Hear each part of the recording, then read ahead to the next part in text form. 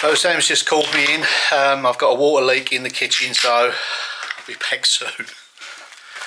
Well, hopefully that's the plumbing issue took care of. It was just a compression joint, a little bit of PTF tape, tightened it up, and hopefully it was okay. But yeah, it come from underneath the, the fridge and it flooded the floor. Right, the next test I've got before I can get started today. So we're gradually losing internet signal.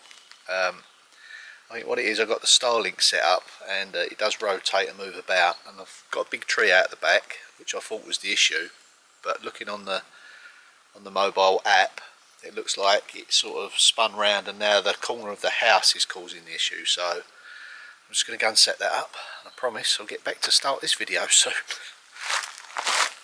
So this is the dish and now it's not receiving optimal signal from all those satellites up above.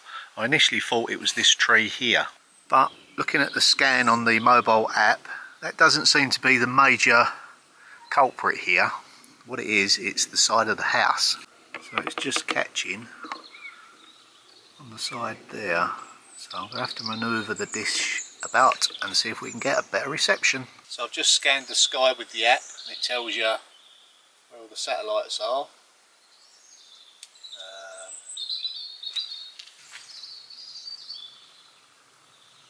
My initial concern was this tree here, but when I look on here, we can see this very clearly, it shows it's that one there. Hmm, that's not my tree, so I can't go chopping that one off at the top. What may have just happened, because I heard the motor on this moving, I think it's redirected itself away from the edge of the house. So the edge of the house isn't the problem now not as bad as it was the signal, but now I think it's the tree in the distance. Well I've just run a speed test and it's device to router 199 Mbps and router to internet 179 so no expert but that on the graph looks pretty good.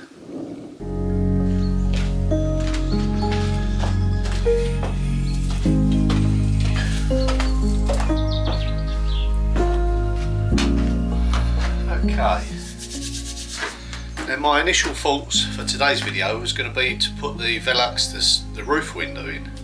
But because I'm a little bit delayed and I don't think the weather's going to be on my side later, it's forecast rain so I'm not going to open that up. But I'm going to turn my attentions to still the roof, but the other side, continuing with the repairs where the purlin's going to the wall. So yeah, just the same procedure that I've done here where the purlins go in, doubled up on top of the old ones and then blocked up and rendered around. So make it nice and sound but just over the other side. So just going to concentrate on this area piggyback with the new purlin on top and work on this area and the same's got to be done up above and down below. And then this area down here as well needs quite a bit of work so get some more bricks, get some timber and get this side reinforced and uh, yeah, a lot stronger than what it is now.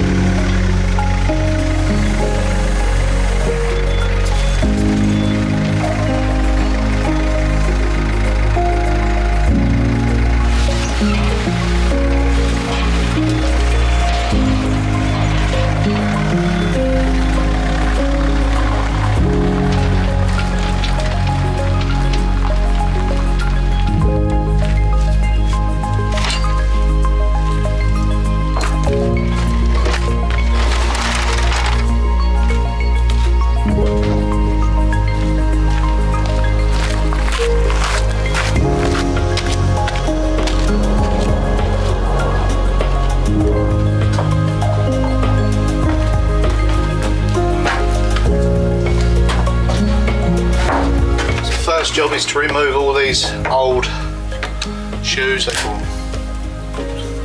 going to put up much of a fight. I'm going to take these off. These just hold the rafters to the purlin. Take a bit of stonework out there. Have a bit of timber to adjust that end. Get some measurements we'll get this one in. So, nails in a moment.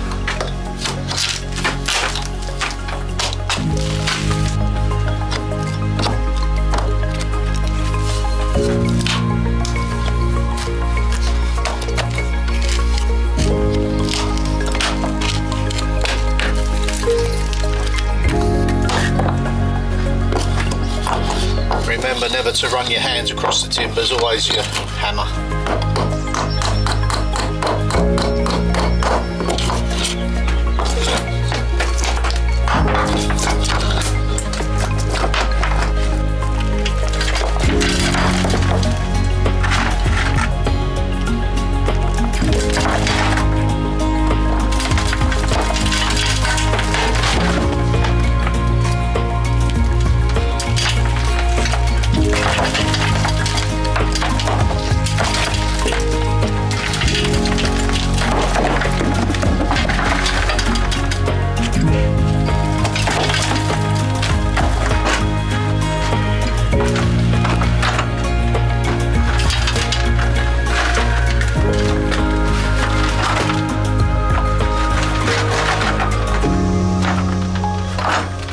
To have took that stone out so I can get my purlin sort of running into there but it's so fragile this area. If I take that out I might lose a lot of this so don't want to do that. Before I put the new purlin in I'm going to get up into there knock up some lime mortar and get that all secured.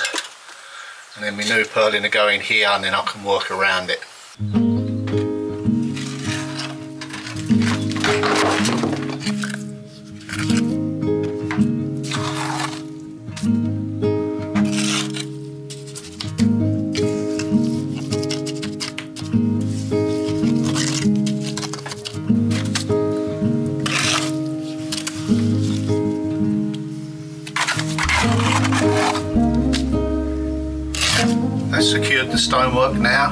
got to do is put the purlin in and then build up around it at that end.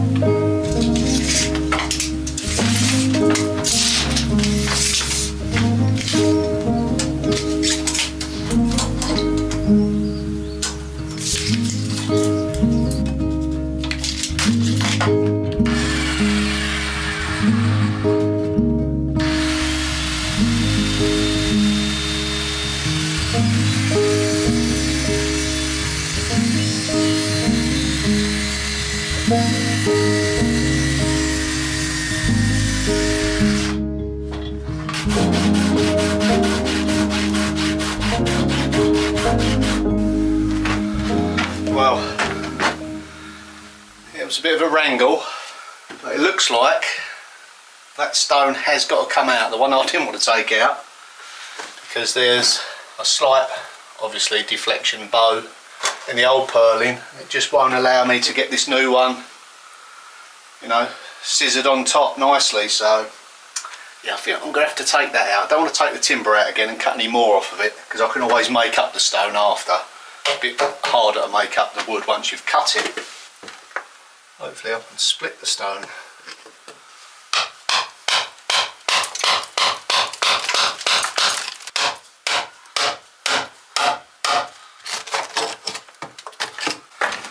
I'm not careful, this is going to turn out to be a major wall rebuild.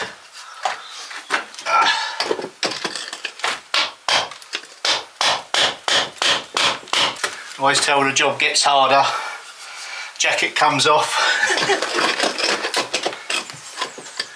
Right don't worry t-shirt staying on. Doesn't even matter if it doesn't get right up as long as I can put some packers and bolt it through. It's nearly there I think I might just split that down there majority of the weight is held for that one on there. If I split that down there I think I might just get it. Let's try again. Let's try that.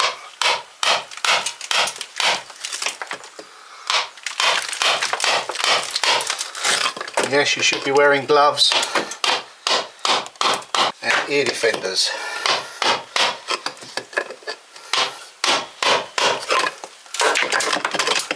I thought I'd have been chiselling stones out. I thought they would have fallen out of here, which they did.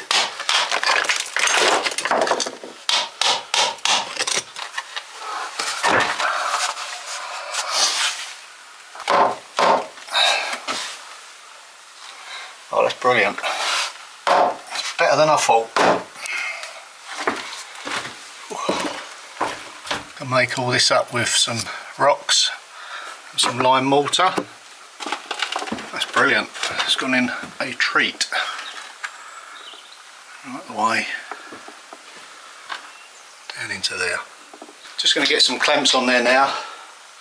Tighten it right up, put some temporary fixings in there until I get some threaded rod and then we'll bolt them together and then torque it right up. I just want to make sure it's touching nice and tight down this end before I do all the mortar because once I put the threaded rod in, tighten it up, it could crack around the mortar which I don't want. Not after all that effort. So let's get some clamps on.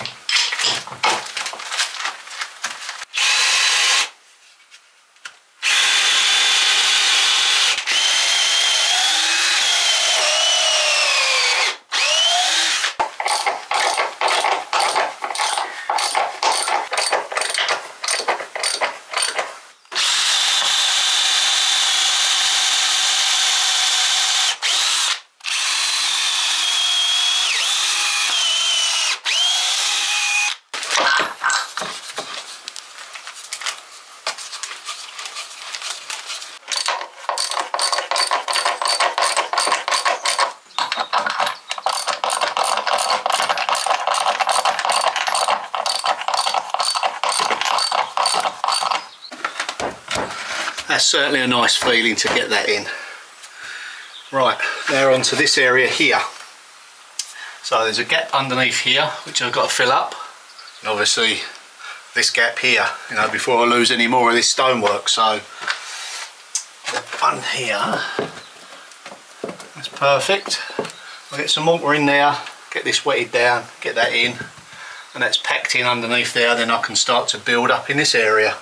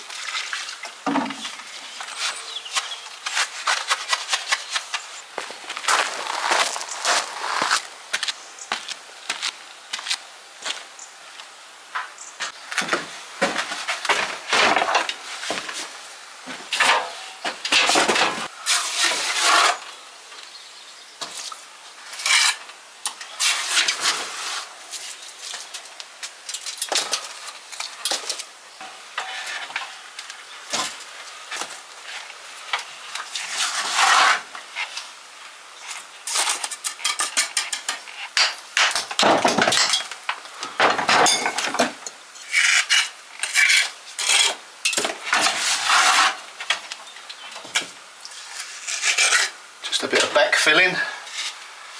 We're a few bricks away from getting it done.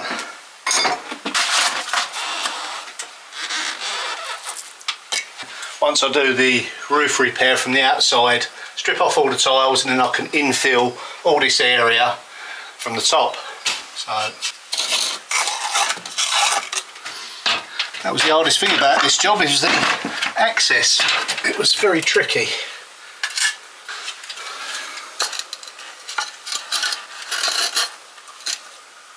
One more to go on the top. I'm going to leave that one in to tie, otherwise I'm going to lose all this. And simply once it starts to go off, I'll just strike the joints. Too wet at the moment. So it's all going to be rendered over, but this makes for a, a secure wall.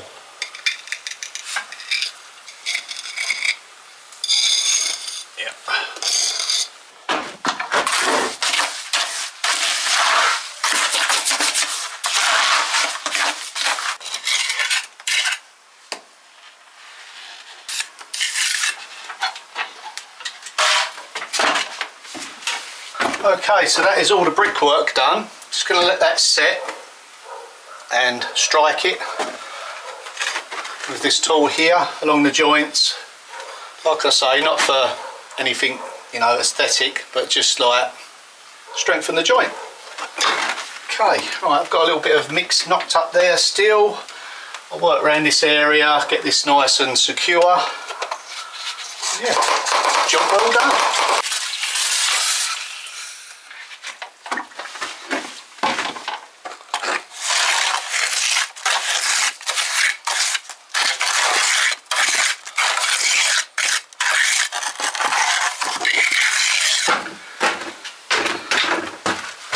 What do you think? Nice and secure now. New timbering all bolted up. Yep, that's all setting nicely. A little bit of that at the end of it, and uh, yeah. There's Jess. There's Pixie. There's the other two. And he's a bit more camouflaged. I dare say Mummy Cat is laying down somewhere. Oh, there he is. There's Denny eyes.